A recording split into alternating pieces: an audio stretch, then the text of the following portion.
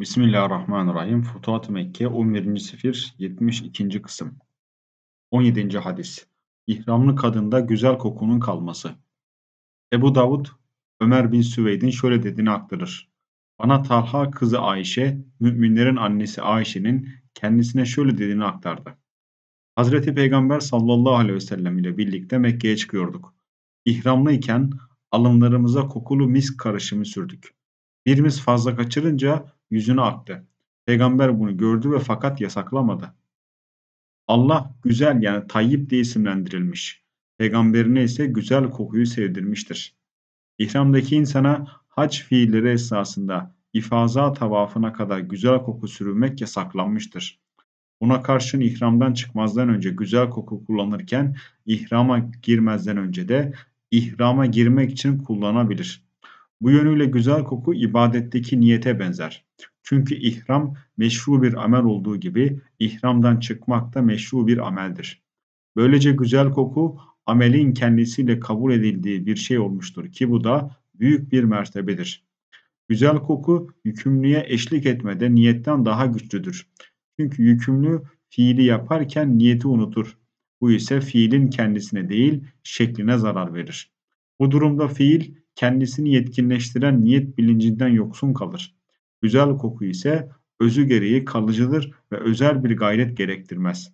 Öyleyse onun ücreti de bulunduğu sürece kendi yönündendir. Bu durumda güzel koku niyetten daha güçlü bir otoriteye sahiptir. Güzel koku kokusu nedeniyle kullanılır. Bu yönüyle o rahmani nefesin izlerini taşır ve böylelikle de güçlükleri ortadan kaldırır. Sıkıntıları giderir, darlık ve zorluk kaybolur, genişliğe, rahatlığa ve dahi bilgilerde dolaşmaya sevk eder. Çünkü Allah temizdir ve temizi kabul eder. Temiz ise özü gereği sevilendir ve bu bakımdan kemale benzer. Kadında güzel koku kendisine bakmayı gerektiren bir sebeptir.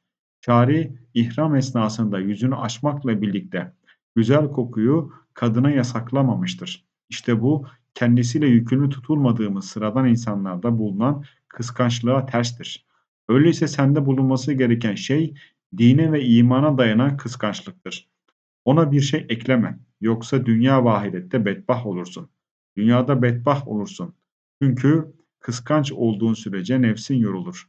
Ahirette ise bu kıskançlığın hakkın seni sorgulamasına yol açması nedeniyle bedbah olursun. Çünkü bu kıskançlık suizan ve içinde bulunan durumda Allah'a itiraz, Allah'ın serbest kıldığı konularda nefsin yadırgayışını meydana getirir. 18. hadis Hacet esnasında açıklamaya koşmak ve ihramlının kemer takması. Ebu Davud Salih bin Hassan'dan şöyle aktarır. Hazreti Peygamber sallallahu aleyhi ve sellem ihramlı bir adamın parlak renkli bir ipi beline bağladığını görünce ey ip sahibi onu at demiştir. Bilginler bu gibi hadislerle ihramlı insanın kemer takamayacağına delil getirmişlerdir.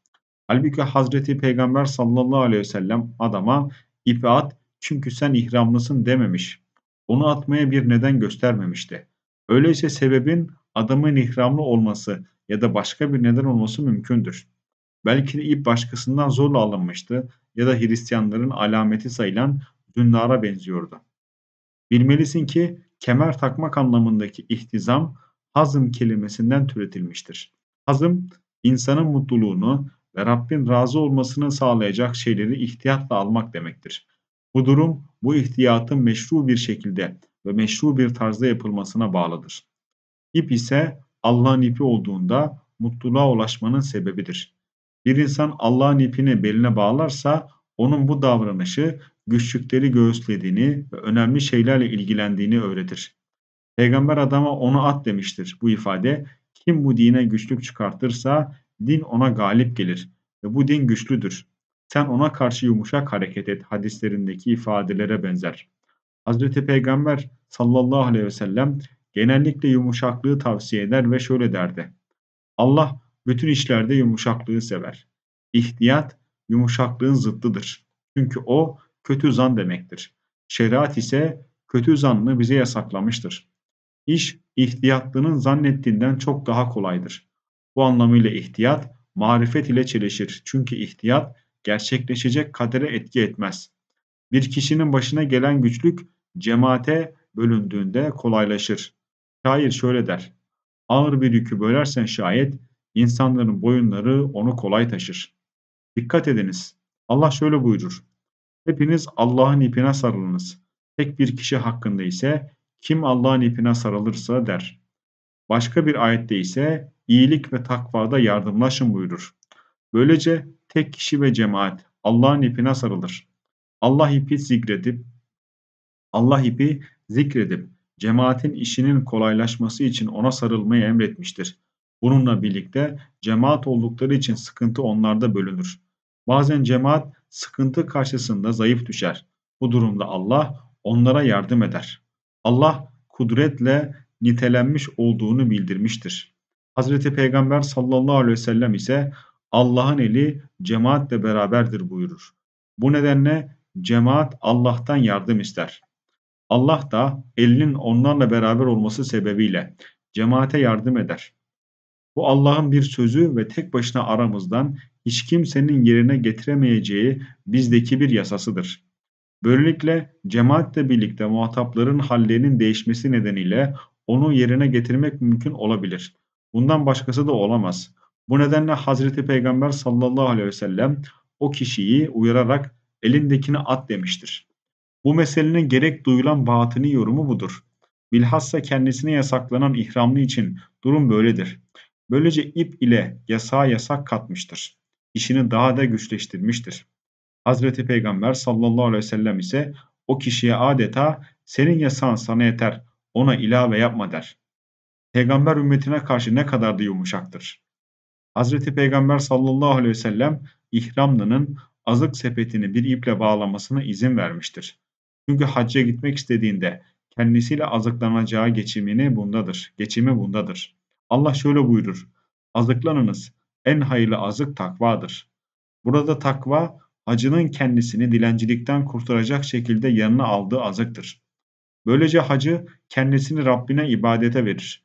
Bu bilinen takva değildir ve bu nedenle ifadenin ardından Allah ey akıl sahipleri benden çekinin demiştir. Böylelikle Allah azık takvası ile birlikte o konuda da takva sahibi olmayı tavsiye etmiştir.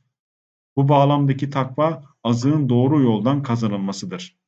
Hadiste geçen himyan ki insana onun yanına alması emredildi. Azığın konulduğu yer onun zarfı ve kabı demektir. Peygamber azığı sırta bağlamaya müsaade etmiştir. Çünkü insanın azığını yanına alması ihtiyatın yani bağlamanın bir gereğidir. Bu durum insanın karşılaşabileceği ve kendisini yok edebilecek sıkıntılardan uzaklaşmasını sağlar. Ebu Ahmet bin Adi el-Cürcani İbn Abbas'tan aktardığı bir hadiste şöyle der. Hazreti Peygamber sallallahu aleyhi ve sellem ihramlı insanın azık çantasını taşımasına izin vermiştir. Bu hadis, hadis bilginlerine göre sahih değilse bile keşif sahiplerine göre sahihtir.